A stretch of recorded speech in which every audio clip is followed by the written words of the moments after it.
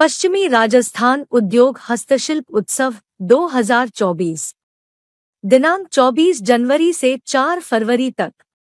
स्थान रावण का चबूतरा, जोधपुर। प्रवेश निःशुल्क। आप सभी शहरवासी सादर आमंत्रित हैं। नोडल एजेंसी, लघु उद्योग भारती जोधपुर प्रांत।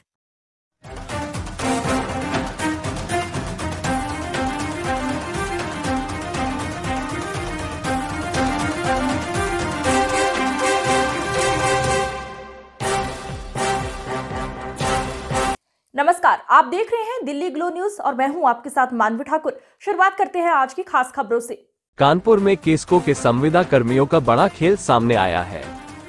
जहाँ केसको के संविदा कर्मियों ने मीटर रीसेलिंग के नाम पर एक युवक से हज़ारों रुपए की ठगी की है। संजयपुरम आज़ाद नगर निवासी प्रेम कुमार निषाद ने बताया कि उनका मीटर खराब हो गया था, जिसके चलते उन्होंने गंगा बैराज केसको ऑफ़िस में शिकायत की। आरोप है कि केस्को के संविदा कर्मियों ने उनसे मीटर रीसेलिंग के नाम पर पाँच हज़ार रूपए ऐट लिए और उनको एक सौ अठारह रूपए की रसीद थमा दी। प्रेम ने बताया कि उन्होंने जब एक सौ अठारह रूपए की रसीद देखी तो उनको ठगी का पता चला। फ़िलहाल पीड़ित ने नवाबगंज केस्को कार्यालय में लिखित शिकायत की है। उधर मीडिया ने जब केसको के आला अधिकारियों से इस मामले पर बात करने की कोशिश की तो अधिकारियों ने पल्ला झाड़ लिया। वहीं पूरे मामले पर केस्को संविदा मजदूर संघ के महामंत्री शंभू सिंह ने कहा कि जाँच कर कर्मचारियों पर उचित कार्रवाई की जाएगी। देखिए सुजीत कुमार की खास रिपोर्ट। क्या नाम है? प्रेम कुमार निषाद। कहाँ पे आए आज आप? नवाबगंज केस को। क्या मामला है पूरा? हमारे हमारे को मतलब मीटर रीसीलिंग के नाम पर ठगी की गई है पाँच हज़ार रुपये की। किसने की है? सरफराज और रंजीत ने। किस तरीके से ठगी हुई आपके साथ? हमसे बोला गया आपका मीटर ख़राब है उसको बनाया जाएगा या चेंज किया जाएगा जिसके नाम पाँच हज़ार रुपये मुझसे लिए गया मुझे एक सौ अठारह रुपये की रसीद दी गई। इसकी कंप्लेन करी आपने? जी हाँ नव- अ, नवाबगंज केस को में की थी। क्या आपको आश्वासन मिला? है कह रहे थे आपका काम हो जाएगा अ, थोड़ा समय दीजिए।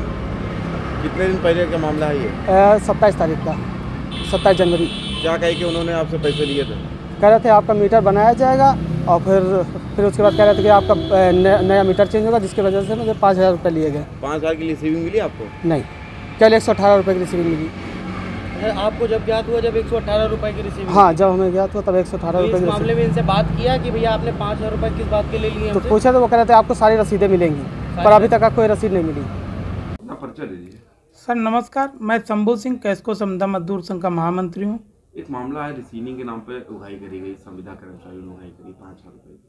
सर, अभी संज्ञान में आया है, पुनः उसका, उसकी मदद करी जाएगी, जो भी पीड़ित है, और इस बात पे कार्रवाई कराई जाएगी, और उस पर बीच का निर्णय लिखा के हल कराया जाएगा।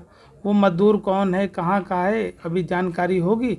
आपके द्वारा हमें जानकारी मिली है, इस पर पता करके उसका संज्ञान, और जो भी पीड़ित है, उसकी मदद करी जाएगी। कर्मचारी उस पर देख के उसका हल करा जाएगा, बीच का रास्ता कोई लिखा के उसका समझौता या जो भी बात होगी, जिसकी गलती है, उसको सजा दिलाई जाएगी।